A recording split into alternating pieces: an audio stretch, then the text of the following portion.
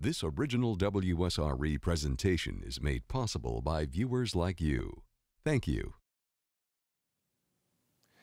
The current and future presidents of the University of West Florida, Dr. Judy Bense and Dr. Martha Saunders, on this edition of Conversations.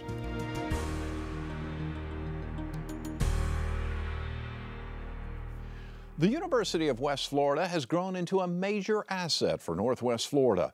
Much of the credit goes to Dr. Judy Bense, the current president of the university, a role she has held since 2008. In January of 2017, Dr. Bense will pass the leadership duties to Dr. Martha Saunders. Dr. Bense will leave behind an impressive array of accomplishments. Her involvement with UWF spans nearly three decades. In 1980, she established both the UWF Division of Anthropology and Archaeology as well as the Archaeology Institute, where she served as director for 20 years. As university president, she raised the profile of the school, increased community involvement, and dramatically raised the bar for the university's athletic program. In 2016, UWF kicked off its inaugural football season.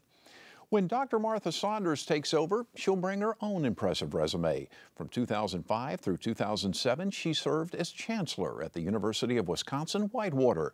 And from 2007 to 2012, she was president of the University of Southern Mississippi before returning to the University of West Florida, where she currently serves as provost and executive vice president. Dr. Saunders has a rich history with UWF. In 1984, she began her career at the university as a professor in the Department of Communication Arts. She would eventually become Dean of the UWF College of Arts and Sciences. We're delighted to have Dr. Judy Bense and Dr. Martha Saunders on this edition of Conversations. Thank you both for joining us. Our Thank pleasure. you. What an absolute pleasure. Dr. Bense, let me begin with you. You decided to hang it up as far as running the school. Step down. Why? Yes. Well, eight years, eight and a half years is a long time, Jeff, and I'm not a spring chicken. I came into this as a pretty old chicken, and I'm going out as an older chicken. Uh, but the the point is, is that uh, I have accomplished almost all of what I set out to do. The things that I didn't can't get done in 20 minutes, you know. so uh, I think it's a good time, and besides, we have Martha Saunders. Right. And uh, it is really not like it's, there's going to be this big revolution or lots of changes. There will be changes, but they will be more in the area of improvements and continuing to uh, uh, grow and develop the university. So it's a good time. I still have a little gas left in the tank. I got some things undone, and uh, uh, so uh, it's it just feels right. Dr. Saunders, why did you want it? Oh, this is a labor of love. Yeah. Uh, you know, as you know, I, I started my career at UWF, uh, had some wonderful opportunities, came up the faculty ranks, uh, became a dean, and, and then had opportunity to go other places, you know, because of, of my experiences here, learn other things, and then to come back. I mean, you know, I couldn't have made that happen. I think it was one of those meant to be things. And to get to come back to where I made my start and come full circle, uh, and then to pick up the leadership after Dr. Bense, it's, it's, it's a very compelling opportunity. The two of you worked together as professors, right? Oh, we did, yes. yeah, We did. So, so, so tell, tell me about that. We were, we were talking in the green room before the show a little bit about your relationship as professors. Well, Martha was a little bit ahead of me in the academic world and was uh, a dean of arts and sciences when I wanted to be the chairman of, of anthropology. And of course, I wanted it right now. I thought I'd earn it, and I went to see her in her office, and I said, you know, Dean Saunders, um, I think it's time. Uh, w- uh, and she said, it could be time, but no, you can't be chair. and I said, well, why not? And she told me why. And uh, I, I repeat this many times about Martha. She may tell you no, but she will tell you how to get to yes. And I did what it took to get to yes. She was right. and uh, when I got there, she said, yes, you can now be chair. You basically have to, you serve, a chairman serves at the pleasure of the faculty and the dean. And either one of them, if they are not in harmony, uh, you can't be a chair. and so I just had to get, do a little harmony. Uh, and, uh, and, and, but I, uh, Martha is fair. She, she can be tough, like we all have to be tough. Uh, but we, but, but fair and supportive. Uh, it, it's very important when you have a professor, you know, that's in mid-career that really wants something, and but they're just not quite where they need to be. But to say no, and for me to walk out of that room and be um, uh, comfortable with what what she told me I should do, uh, it was uh, it was the right thing to do. I didn't grumble and complain. I just got to work on what she told me I had to do. Well, that speaks an awful lot of your leadership style. Mm -hmm. well, how would you describe your leadership style? Well, I, I think following on that uh, is when people come to me with bright ideas and I often say, I know I'm not the smartest person in the room. Mm-hmm. You know, we're we've got a lot of bright folks at a university, and so they come with an idea, and and to me, it's yes till it's no. Mm-hmm. You know, and then if if I can't say yes, then I say, well, let's talk about what it would take uh, to get what you want, mm-hmm. uh, and still uh, make sure the university or whatever the unit is is moving straight. What made you want to move out of the day-to-day professor role into more of a leadership role? You know, I often say every job I've ever had at a university, I've loved. Mm-hmm. When I was a faculty member, I um, I thought I could do this every day until I die, and I'm gonna die happy. Uh, and then I got an opportunity to be an honors director and I thought, well, this is cool. So I'll do this every day until I die, and I'll die happy. and I think it was more. It wasn't that I was looking for opportunities, but doors would open, and I'm always a I'm a curious person, right. and so an opportunity would like mm-hmm. you know person sitting next to me, and I'd say, well, let's go try that. Uh, and so it wasn't so much seeking it, it's just the opportunity came and I tried it and I thought, gee, I love this. I could die happy doing this. Yeah, and yeah. so and so it goes. Yeah. Well, and, and, and Dr. Bense, you, I mean, did you, was that one long-term goal for you never, ever, Jeff, no. never. No. it never crossed my mind. I was doing cutting edge research in Veracruz, Mexico, in tangent conjunction with my research here in the early Spanish period in, in Pensacola, and I was going back and forth about once a month to the project down there. And I was on my fifth or sixth trip, you know, and I was tired and it was hot. And I got on the plane and I, uh, I realized that President Cavanaugh said that he was going to, to leave and the time was short. And I thought, oh, now I have to break in a new president. They don't understand what archaeology really is and it's different here.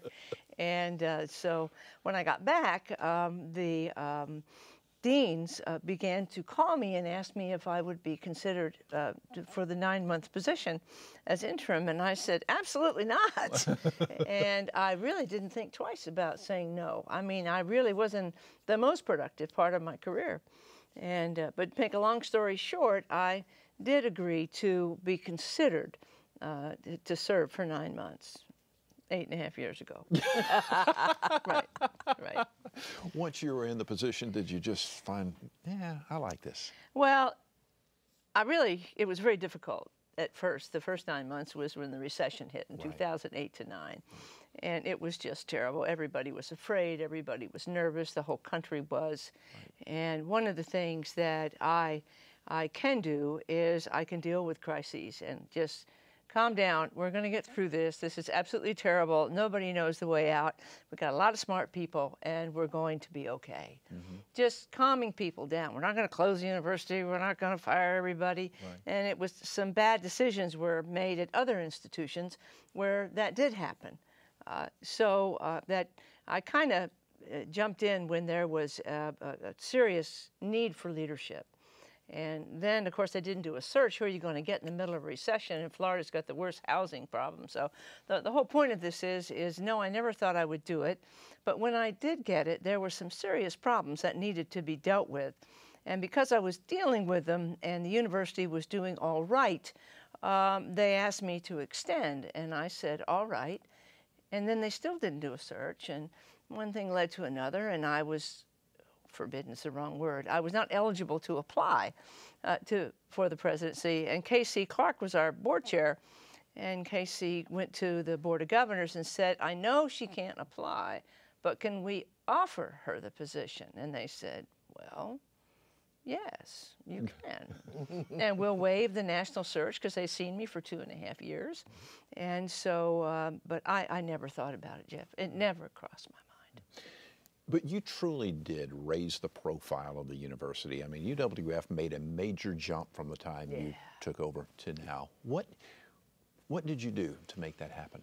Well, it, it's simple. Martha and I are on the same page with marketing and visibility. You know, uh, we're a culture that uh, if you're out of sight, you're out of mind. You just are. Mm-hmm, mm-hmm. And we, as a university, had not been telling people what we had been doing. Right. We had been run and, and existed in kind of a vacuum, uh, like in the old days, in the 50s and the 60s, when it was a, a, a quiet intellectual place, universities were, where they just kept out of the way, kept their head down, and spoke in five syllable words. and, and that was fine because that, we need that in this country and in the world. Uh, but on the other hand, times changed. Mm-hmm. And you had the University of South Florida, Central Florida, uh, just bopping up. You've got Florida Atlantic. And we wound up being behind with that kind of an attitude. And so I just basically decided that what we really needed was to become visible again. And I was, I, I did a speech not too long ago, and I showed, a, the first thing I did was put up billboards. First in Northwest, what, what, what have we done for you lately? Mm-hmm. How many volunteer hours do our students do? How many championships have our team won? How many how many scientists have we produced? How many people in Northwest Florida have a degree from UWF and stay here and are productive members of our society? It's like 35, 40,000. People just didn't know that. Right. And they go, Oh, is that right? I said, Yeah, that's right. And then we began to go throughout the state, and our alumni began to see the uh, billboards uh, in Tampa, in Miami, in Tallahassee, in Jacksonville, in Orlando, and they loved it. And the other president said, "What are you doing?" I said, "I'm just showing off." and and uh, so basically, it was really quite simple. Uh, was was visibility because we really need a, a, university, a regional one in particular. You need help uh, and the community is your primary source of help the community and the legislature. And those two were two of the three buckets that are goals that, that I really had. The other was improve student life. Make this a real university, not a commuter school. And, and what are some of the things that occurred in order to do that? Oh, first thing was dorms. We hadn't built a dorm forever. We had a surplus in housing that could choke a horse. and I said, you know, let's build, my very first month, I said, let's build a new dorm. And I want to build it in a year because I figured maybe I could get the summer, you know, in addition to my nine months. And it was a recession. I said, concrete will never be cheaper. Good point. Mm-hmm. You know, contractors will never be less busy. And it worked. And it, that drew students because the more students you have on campus or near campus the more campus and student life you have and then they said and then i built another one and they were big they weren't these little pizza huts and the, right. or these little two-story things that we had right. these were big collegiate bricks right. and mortar and plaster and, and, and logos on them and, and a pizza joint down below mm-hmm. uh, a patio or uh, in, between the two dorms that fosters student life. So mm-hmm. that's the first thing I did. And uh, I, I just kept doing it. You know, we built academic buildings, of course. We built wellness buildings for the students. We built a new daycare center, which was really needed. It's not like I had all these ideas, but I just made sure that we did it. Dr. Saunders, what, are, what is your plan moving forward? How, how do you want to piggyback on this? Well, I want to uh, I, I want to crystallize what Dr. Bense has started. Uh, we really do now have the look and feel of a traditional university, and that's very important. And we need to solidify that, make sure it doesn't ever back up or erode. Mm-hmm. But then I also want to, I have some other ideas. Mm-hmm. Uh, I want to, uh, again, as she has started, I want to reduce the number of miles between Pensacola and the University of West Florida. Sometimes people think it's a long way out. Mm-hmm uh, and create more opportunities for people to come to the campus, the one that's off Nine Mile Road, and uh, and have more destination sites and more experiences that people will want to be a part of. Uh, I want a stronger presence in the community, and I think we're we're doing a great job, certainly with the UWF Trust, all of the historic properties. I think we can build on that as well, and then to build some programming for which we will be known. Mm. Uh, we have some wonderful programs at UWF, and they they've gone about as far as they can go with what they've got. Mm-hmm. And I want to invest in these strong programs. Um, give them the huge visibility and take them to the moon. What are some of those programs where you feel would? Well, you know, we we would still uh, have to make go through a selection process to see which ones we're going to put forward. I certainly would expect. Uh, we have a fairly new cybersecurity program that's huge all over the country. I think that's going to be important. Uh, a number of our sciences are important. Uh, we have a new College of Health, and I could probably go in there and just throw a rock, and anything I hit would be the right thing because uh, so much is developing in healthcare. Right. Uh, we have a very strong logistics and supply chain management program. Uh, and these are the kinds of programs where there is a huge market demand, there could be a huge economic impact locally, there are tremendous uh, opportunities for partnerships with industry and good visibility. And like Dr. Bense said, you know, if they don't know about us, wouldn't be as good as we want, but right uh, you know, we, we must be able to have the kind of visibility. So I think that those are some things that we would really be uh, be pushing as we move along. You brought football.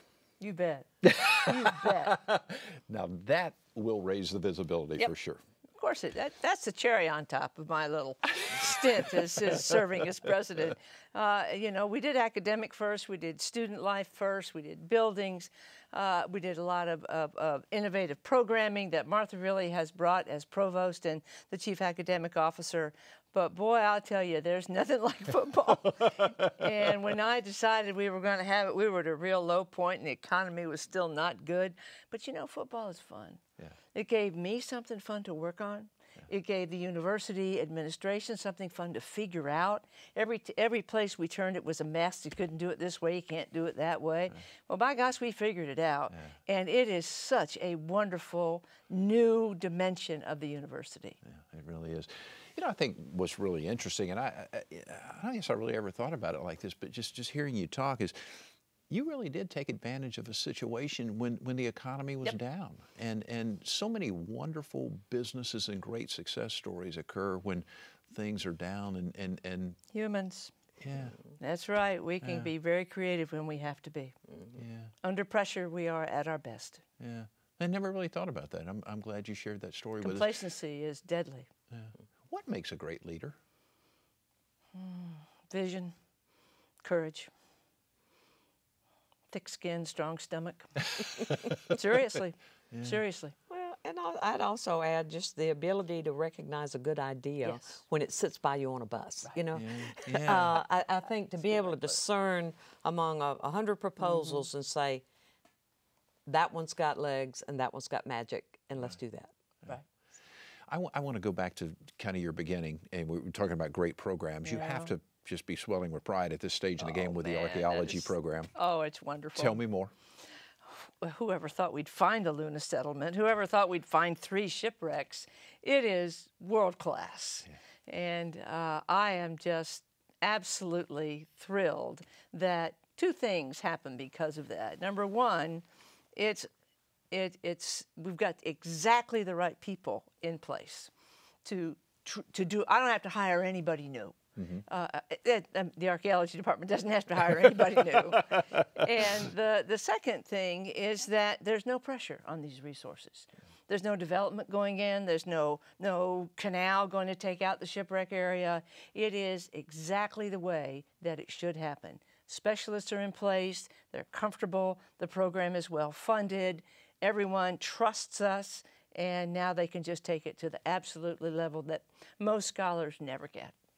Now, what role will you play once you're away from the president? I'm not going to dig the Luna site. We have perfectly good archaeologists to do that. But what I am going to do is um, I, I think that Martha and I have been talking about uh, it would be very important, and very few people have the time that are in the ranks to take the, the Luna site and first put it on the National Register of Historic Places, then take it to a National Historic Landmark, and then maybe a World Heritage Site. I think that it is it can qualify.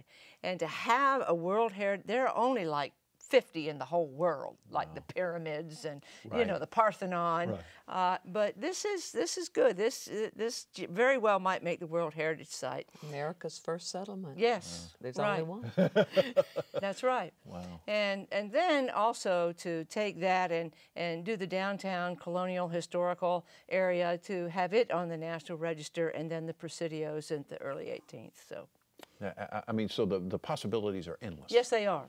Absolutely. Yes. Neat. Tell me about research. Do you want the university to become more involved from a research standpoint? Yes, uh, we and we and we are. We are already. We've started uh, uh, moving much more assertively toward uh, toward more research for a lot of reasons. The opportunities are there. The, we have the faculty uh, skill set to do that, and I and um, and that is a direction that we are being certainly encouraged to go uh, by the board of governors, and um, that does not take necessarily take away from teaching. Uh, as a matter of fact, most of us would argue that it is uh, because we are good researchers, we are more interesting. we have more to share. It enhances uh, teaching, and right. enhances our teaching. Uh, and also to include our students in our research. We have been developing undergraduate research as a strong component of the undergraduate experience. Uh, it's a high impact practice. A student that's worked in a lab side by side with uh, a, a On 16th century materials? something like that, when they get ready to go into the workplace, they their that resume is going Right. to pop. Right. So we've been doing a lot of emphasis on high impact practices, whether it is internships, whether it's study abroad, undergraduate research. Finding uh, shipwrecks. Yeah, finding shipwrecks. Those kinds of things make uh, set our students apart, and that's that's what we want to have happen.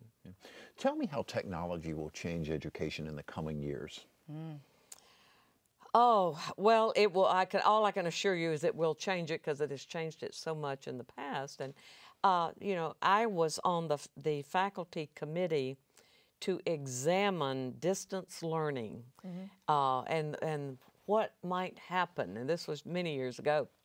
And we, uh, I did have one old graybeard colleague who said, you know, distance learning will be but a blip in the history of higher ed. Well, look at here. 30% of our programming is online now. 30% of our 30 students. 30%. And uh, I think that, it, but it's not the way we originally thought it would be. We thought that uh, we would be taking, uh, one faculty member would teach just wadzo students, you know, Right. thousands. Uh, uh, but it's very labor intensive uh, because there is a much greater student interaction online than, uh, than you would imagine in the classroom, face to face, often students are reluctant to ask a question. They don't want to look dumb, they don't want to prolong the class. But online, they're not at all reluctant. And so I think we're going to refine that model. I think we will hybridize it. I think that we, we know it's equally effective and in some cases more effective. So I think we'll see more of it and we'll see it global. We'll see it uh, sent, translated into other languages and, and uh, spread uh, a long way. Yeah, so the disruption is occurring not just in you know the, the ordinary marketplace type scenarios we see, mm-hmm. but very much in education as well. Well, and it, and it helps us adapt, and it helps our students adapt their education to their lives and mm-hmm. us to our students. I have a little less than five minutes left. Dr. Bense, Yeah. tell me what you want your legacy to be. Oh, it's already in place. There's nothing I can do about my legacy now. How do you want people to remember? What, what do you think was the most important thing you did? Well, I, I- I think there there are three, and number one is uh, community engagement. I mean, people know the university; they know who the president is.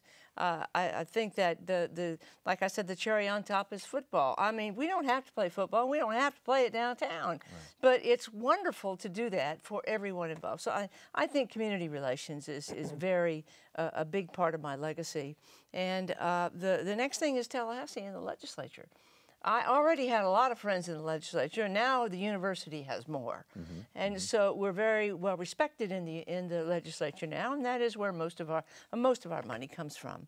And so it is very important that those are uh, those are solid. So I think those two things were important. And then the, the, the third thing with students, I mean, we got student life. We got, you know, uh, uh, the, the socialization aspect of athletics uh, is very high. And there's, there's what we call Argo Pride. Mm-hmm. They're wearing our gear. I mean, I was in the cafeteria the other day, this week, and I think about half of the students had some gear on.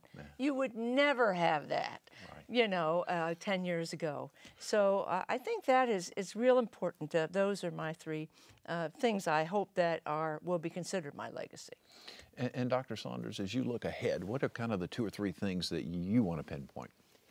Well, I want to put us on the map. Mm-hmm. we know how good we are. It's time for everybody else to, to know it too. So I think we'll be doing a lot of emphasis on visibility uh, and you know, I always have a commitment to leave things better than I found them. Mm-hmm. So you build on the strengths that you have, bring UWF up to its full potential, uh, and uh, and we'll feel. I want to feel good about handing it off to the next one. Yeah. Just uh, as, as we get ready to close out here, the university has a huge economic impact on this area. How much of an economic impact? The the last uh, state university system uh, study showed we have a $1.4 billion annual impact on our region. 1.4 billion, billion with a That's B. 4 million a day. Wow. Uh, mm-hmm. And uh, and uh, about half of that, if I'm remembering the study correctly, uh, comes from direct impact jobs, uh, uh, primary jobs and secondary jobs that we inspire. And then the rest is the benefit of having an educated population. So it's a fairly complicated study, but uh, it's real. And of course, the, you know, our first responsibility to this community is to be a great university, right. and good things happen. In about 30 seconds, Dr. Bense, what do you do after January? I get my life back. I do, uh, but with a smile on my face. Yeah. But we're going to be hearing from you because you're going to be out there right. involved in archaeology right. and doing and, and things. Well, first of all, congratulations on all of your success. Thank you. You're well respected in the community, and you've done a phenomenal job. So, I've had a good time too. Yeah, and it shows you have an awful lot of passion. I so do. wish you all the best. Dr. Saunders, we know you're going to take the ball and Here run. Yep, if I may use right. a football analogy there. That's right. Looking, looking well. forward to it. Dr. Judy Bense, who is the current president, who will hand off the ball, shall we say, or the baton to doctor mm-hmm. Martha Saunders in January of 2017. The presidents of the University of West Florida True. on this edition of Conversations. By the way, you can see more of our conversations online at wsre.org slash conversations, and we're also on YouTube and Facebook. I'm Jeff Weeks. Thank you so very much for watching. Hope you enjoyed the broadcast. Take great care of yourself. We'll see you soon.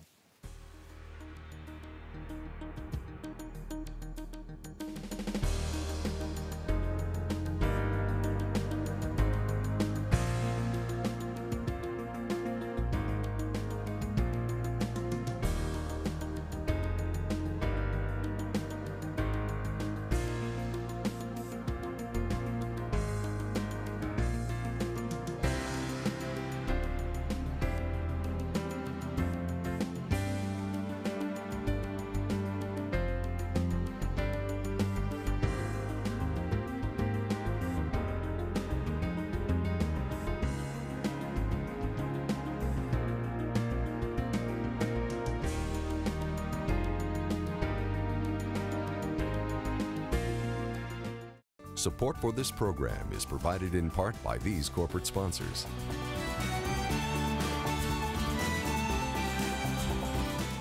And by viewers like you.